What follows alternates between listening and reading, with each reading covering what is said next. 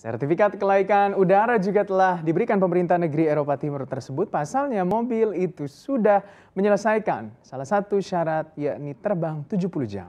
Ya, izin juga disebut kompatibel dengan standar Badan Keselamatan Penerbangan Eropa atau IASA, namun pilot tetap membutuhkan lisensi untuk menerbangkan kendaraan itu. Aircar akan segera dijual secara komersial 12 bulan ke depan. Aircar ditenagai oleh mesin BMW 1,6 liter. Kendaraan itu juga bisa berjalan dengan bahan bakar apa pun.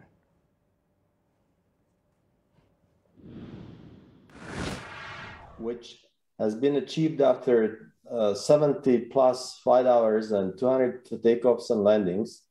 Uh, we have um, uh, confirmed that the te technology uh, is built in compliance with all the safety regulations imposed by EASA.